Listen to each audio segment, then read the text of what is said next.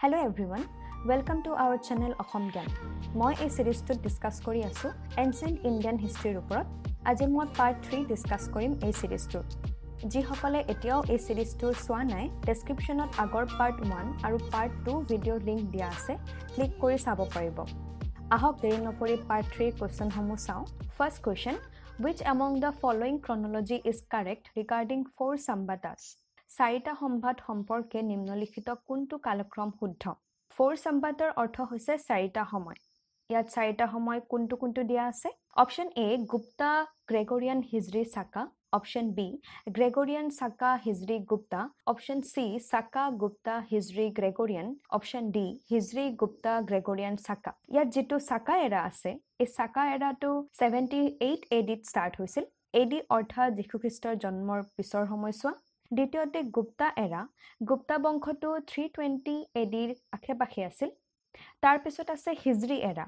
হিজৰি এৰা সেইখিনি সময়ত জনা যায় যেতিয়া প্ৰফেট মহম্মদ মক্কাৰ পৰা মদিনা গৈছিল তেতিয়া এই হিজৰি এৰাৰ আৰম্ভণি হৈছিল six hundred and twenty two A ডিত লাষ্ট এৰা হৈছে গ্ৰেগৰিয়ান।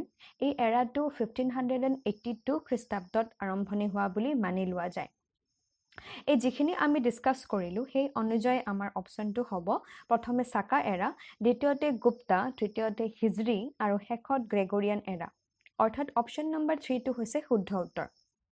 এইটোৱে হৈছে ডিফাৰেণ্ট চাম্বাদ ক্লিয়াৰ বহুত ইম্পৰ্টেণ্ট কুৱেশ্যন হয় মনত ৰাখিব। Next question the home of Gargi Maitreyi and Kapila was at Gargi Maitreyi আৰু কপিলাৰ ঘৰ আছিল।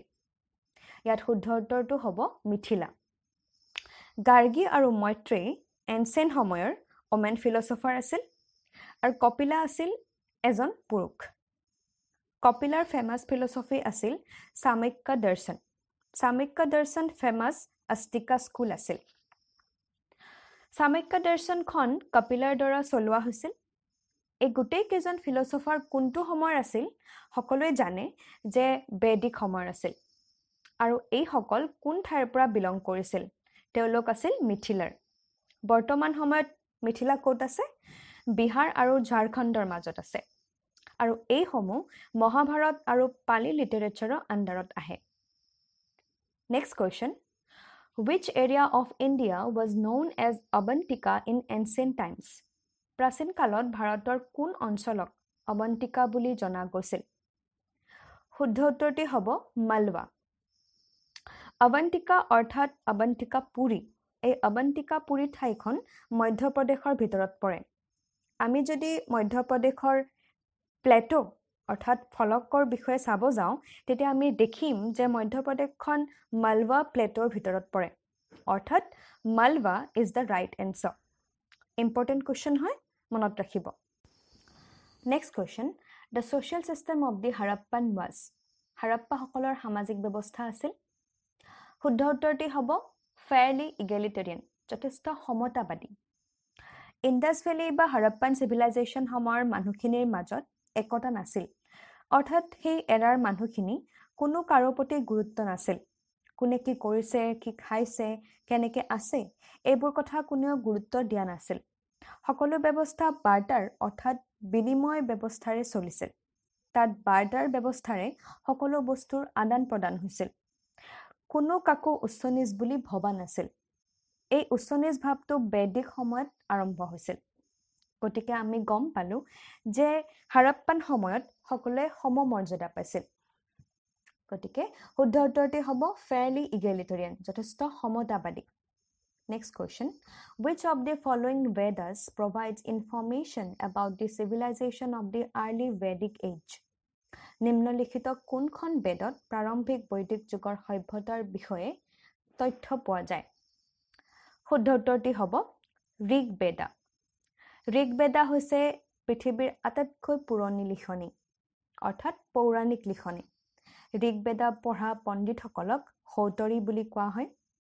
ঋগবেদাৰ ভিতৰত দহটা মণ্ডল আছে আৰু এক হাজাৰ আঠাইছটা পদ আছে। ঋগবেদাৰ দহটা মণ্ডলক পুৰুক্ষেত্ৰ মণ্ডল বুলিও জনা যায়। এই মণ্ডলটোত কাষ্ট ছিষ্টেম অৰ্থাৎ জাতিবাদৰ বিষয়ে উল্লেখ আছে। গতিকে শুদ্ধ উত্তৰটি হ'ব Rigveda.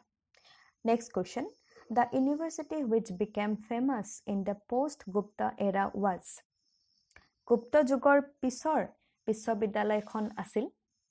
শুদ্ধ উত্তৰটি হ'ব নালন্দা বিশ্ববিদ্যালয়। নালন্দা বিশ্ববিদ্যালয়ৰ সময়খিনি হৈছে কুমাৰ গুপ্তাৰ সময়। কুমাৰ গুপ্তাৰ সময়খিনিতে নালন্দা ইউনিভাৰ্চিটিৰ স্থাপন হৈছিল। ভেৰি ইম্পৰ্টেণ্ট কুৱেশ্যন হয় মনত ৰাখিব। নালন্দা ইউনিভাৰ্চিটি ক'ত অৱস্থিত? তেতিয়া তাৰ এনচাৰ হ'ব বিহাৰ। অকল নালন্দা বুলিয়েই নহয় সেই সময়ৰ বহু ইউনিভাৰ্চিটিয়ে বিহাৰত আছিল। এই বিশ্ববিদ্যালয়তে বুদ্ধিষ্ট লিটাৰেচাৰ আৰু হিন্দু লিটাৰেচাৰ ছাত্ৰ ছাত্ৰীয়ে পঢ়িছিল। এইখিনিৰ ওপৰত আৰু এটা কুৱেশ্যন আহিব পাৰে যিটো অতিকৈ ইম্পৰ্টেণ্ট কুৱেশ্যন সেইটো হৈছে বুদ্ধিজিমক মান্যতা দিয়া শেষৰ বংশটো? শেষৰ বংশটো হৈছে পালা বংশ। বহুতেই গুৰুত্বপূৰ্ণ প্ৰশ্ন মনত ৰাখিব। Next question Banabhatta was the court poet of which empire পানভট্টক কোনজন সম্ৰাটৰ ৰাজকীয় কবি আছিল? শুদ্ধ উত্তৰটি হ'ব হৰ্ষবৰ্ধন। হৰ্ষবৰ্ধনৰ সময়তে বানভট্ট কোৰ্ট পয়েট আছিল। হৰ্ষবৰ্ধনৰ ওপৰত এখন কিতাপ লিখা হৈছিল। কিতাপখনৰ নাম হৈছে হৰ্ষ চৰিত্ৰ। আনহাতে হৰ্ষবৰ্ধনৰ ওপৰত কদম্বৰী উপন্যাস এখনো লিখা গৈছে। ভেৰি ইম্পৰ্টেণ্ট কুৱেশ্যন হয় এইটো মনত ৰাখিব। আৰু পাৰ্বতী পৰিন্যায় কিতাপখনো বানভট্টৰ দ্বাৰা ৰচনা কৰা হৈছিল। আপোনালোকেতো জেনেৰেলি হৰ্ষবৰ্ধন আৰু বানভট্টৰ কথা পঢ়ি থাকে কিন্তু পাৰ্বতী পৰিন্যায় কদম্বৰী আদিৰ ওপৰতো কুৱেশ্যন আহিব পাৰে সেইবাবে এইবোৰ চাব খুবেই জৰুৰী। আৰু এটা গুৰুত্ব প্ৰশ্ন যে বানভট্টক আৰু কি নামেৰে জনা যায়? ইয়াৰ উত্তৰ হ'ব যে বানভট্টক আস্থানা নামেৰেও জনা যায়। আস্থানা অফ হৰ্ষবৰ্ধন। আস্থানাৰ শব্দৰ অৰ্থ হৈছে ৰাজকীয় ৰয়েল। যিহেতু হৰ্ষবৰ্ধনৰ ৰাজসভাৰ পয়েট আছিল সেইবাবে তেওঁক আস্থানা পয়েট হিচাপে জনা যায়। Next question the first Indian ruler who establish the supremacy of Indian navy in the Arabian sea was প্ৰথম ভাৰতীয় শাসক যিয়ে আৰবিয়ান সাগৰত ভাৰতীয় নৌসেনাৰ সৰ্বোচ্চতা প্ৰতিষ্ঠা কৰিছিল। শুদ্ধ উত্তৰটি হ'ব ৰাজেন্দ্ৰ ওৱান। আপোনালোক সকলোৱে জানে যে নেভি ক'ত থাকে? সাগৰত। আৰবিয়ান চি হৈছে এইখিনি এই আৰবিয়ান চিৰ ওচৰত এটা বংশ আছিল যাক চোলা এম্পায়াৰ বুলি জনা যায়। চোলা এম্পায়াৰ এক ফেমাছ এম্পায়াৰ আছিল। চোলা এম্পায়াৰৰ প্ৰথম ৰজা ৰাজৰাজা চোলা ওৱানৰ ওচৰত নেভি পাৱাৰ আছিল। খুবেই ইম্পৰ্টেণ্ট কুৱেশ্যন হয়। কিন্তু নেভি উন্নত অৱস্থালৈ নিয়া অৰ্থাৎ অধিক ফেমাছ কৰিছিল কোনে? ৰাজেন্দ্ৰ চোলাই।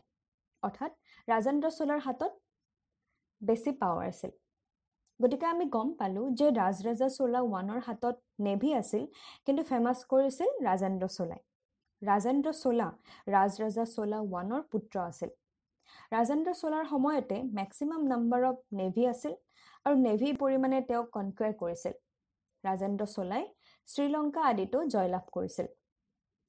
এইটো খুবেই ইম্পৰ্টেণ্ট কুৱেশ্যন হয় আপোনালোকে মনত ৰাখিব। Next question with statement on the Harappan civilisation is correct Harappa সভ্যতাৰ ওপৰত তলৰ কোনটো মন্তব্য শুদ্ধ? Option A horse sacrifice was known to them option B cow was sacred to them option C Pashupati was venerated by them option D the culture was not generally static option A horse sacrifice was known to them ঘোঁৰা বুলি তেওঁলোকৰ জ্ঞাত আছিল সেই সময়ত কোনো ধৰণৰ ঘোঁৰাক sacrifice কৰা হোৱা নাছিল। চুৰকোটাদা এখন ঠাই য'ত ঘোঁৰাৰ অৱশিষ্ট পোৱা গৈছে। Option B cow was sacred to them গৰু তেওঁলোকৰ বাবে পবিত্ৰ আছিল। গৰুৰ ইম্পৰ্টেঞ্চ বিশেষকৈ বেদিক সময়ত পোৱা গৈছে।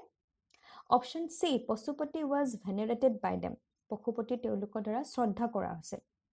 পশুপতি কিছুমান লোকে মেন গড বুলি মানিছিল আৰু কিছুমান লোকে ফিমেল গডেজ বুলিও মানিছিল। The the culture was not generally static. সংস্কৃতি সাধাৰণতে স্থিৰ না স্থিৰ নাছিল। গতিকে শুদ্ধ অপশ্যনটো হ'ব অপশ্যন ডি। কালচাৰ অৰ্থাৎ সংস্কৃতি সাধাৰণতে স্থিৰ নাছিল। সেই সময়ত কালচাৰবোৰ চেঞ্জ হৈ আছিল। আমি কালচাৰ চেঞ্জৰ কথা কেনেকৈ গম পাম? সেই সময়ত যিবোৰ মাটিৰ সাজ বাচন আছিল সেইবোৰ এটা কণ্টিনিউৱেশ্যনত চলিছিল। আমি সকলোৱে জানো যে নিউলেথিক এইজ চালকলিথিক এইজ তাৰপিছত আছিল ইণ্ডাছ ভেলী চিভিলাইজেশ্যন এই মাটিৰ বাচনসমূহ বনোৱা হৈছিল সেইবোৰ বেলেগ বেলেগ প্ৰকৃতিৰ আছিল। লাইক নিউলেথিক এজত মাটিৰ বাচনসমূহ ৰঙা ৰঙৰ আছিল চালকুলিথিক এজত আকৌ কলা ৰঙৰ বাচন বনোৱা হ'ল আৰু ইণ্ডাছ ভেলী চিভিলাইজেশ্যনত সম্পূৰ্ণ বেলেগ বেলেগ ৰঙেৰে বাচন বনোৱা ষ্টাৰ্ট হৈছিল। এই সকলোবোৰ বস্তু ষ্টেটিক নাছিল সময়ৰ লগত ইভলভ হৈ গৈ আছিল। সেইকাৰণে ইণ্ডাছ ভেলী বা হাৰাপ্পান চিভিলাইজেশ্যনৰ সময়খিনি ষ্টেটিক নাছিল। গতিকে অপশ্যন ডিটো হ'ব শুদ্ধ উত্তৰ। বিভিন্ন সময়ত এইটো দেখা যায় যে এনেকুৱা ধৰণৰ প্ৰশ্নবোৰত ষ্টুডেণ্টবোৰ কনফিউজ হৈ যায়। এইটো হ'বনে সেইটো হ'ব? কনফিউজ নহ'বলৈ কুৱেশ্যনটো ভালদৰে পঢ়ি বুজি ল'ব লাগে যে কুৱেশ্যনটো আচলতে কি সুধিব বিচাৰিছে। গতিকে ইয়াৰ শুদ্ধ উত্তৰটো হ'ব অপশ্যন ডি বহুতেই ইম্পৰ্টেণ্ট কুৱেশ্যন হয় মনত ৰাখিব। Next question the first Tirthankar of the Jain was জৈনসকলৰ প্ৰথম তীৰ্থংকৰ আছিল। শুদ্ধ উত্তৰটি হ'ব ঋষভম। কেতিয়াবা ঋষভ নাথ বুলিও দিয়া থাকে তেতিয়াও এই এনচাৰটি শুদ্ধ হ'ব। আৰু এই ব্যক্তিজনক আদিনাথ হিচাপেও জনা যায়। অল টোটেল চৌব্বিছগৰাকী তীৰ্থংকৰ আছে। তীৰ্থংকৰ হৈছে আমাৰ যেনেকৈ বিভিন্ন ধৰ্মত গুৰু থাকে তেনেকৈ জৈন ধৰ্মৰো বিভিন্নগৰাকী গুৰু আছে। গতিকে আটাইতকৈ ওপৰৰ গুৰুজনক তীৰ্থংকৰ বুলি জনা যায়। চ' প্ৰথম তীৰ্থংকৰ কোন আছিল? ঋষভানাথ। আৰু চৌব্বিছ নম্বৰগৰাকী তীৰ্থংকৰ কোন হয়? আপোনালোক সকলোৱে জানে। মহাবীৰ জৈন। আৰু যেতিয়া এওঁলোকৰ নিৰ্মাণ প্ৰাপ্তি হয় তেতিয়া এওঁলোকক আৰিহান নামেৰেও জনা যায়। আৰু যাৰ চুপ্ৰিম নলেজ থাকে তেওঁলোকক কেৱল্য বুলিও জনা যায়। বহুতেই ইম্পৰ্টেণ্ট কুৱেশ্যন হয় সকলোৱে মনত ৰাখিব। ইয়াৰ ওপৰত আৰু এটা কুৱেশ্যন আহিব পাৰে যে ঋষভনাথ তীৰ্থংকাৰ কোনটো ডাইনেষ্টিৰ পৰা বিলং কৰে? কোনটো বংশৰ পৰা ঋষভনাথ বিলং কৰিছিল? এই প্ৰশ্নটো মই আপোনালোকৰ বাবে এৰিলোঁ। আপোনালোকে কমেণ্ট বক্সত কমেণ্ট কৰি জনাব। বহুত ইম্পৰ্টেণ্ট কুৱেশ্যন হয়। গতিকে আজি এই পাৰ্টটোত মই দহটা কুৱেশ্যন ডিছকাছ কৰিলোঁ। আশা কৰিলোঁ আপোনালোকে ভাল পাব। যদিহে এই কুৱেশ্যনৰ ওপৰত কিবা ডাউট থাকি যায় কমেণ্ট বক্সত কমেণ্ট কৰি জনাব। মই সকলো কমেণ্টৰ ৰিপ্লাই দিব চেষ্টা কৰিম। যদিহে ভিডিঅ'টো ভাল পালে আপোনাৰ বন্ধু বান্ধৱীৰ লগত শ্বেয়াৰ কৰি দিব। যিসকলে আমাৰ ছ'চিয়েল মিডিয়া প্লেটফৰ্মসমূহত এতিয়ালৈ জইন কৰা নাই তেওঁলোকে জইন কৰি ল'ব পাৰে ডেছক্ৰিপশ্যনত লিংক দিয়া আছে। আজিলৈ ইমানেই। আকৌ লগ পাম নেক্সট পাৰ্টত থেংক ইউ ছ' মাছ